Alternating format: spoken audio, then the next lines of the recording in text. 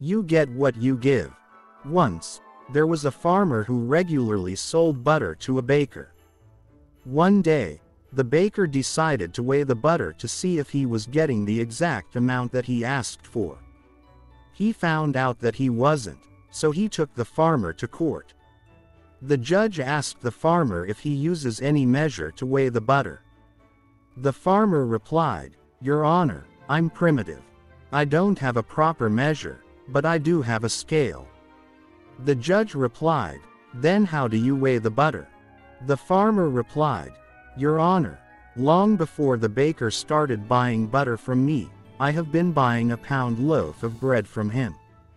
Every day, when the baker brings the bread, I put it on the scale and give him the same weight in butter. If anyone is to be blamed, it's the baker.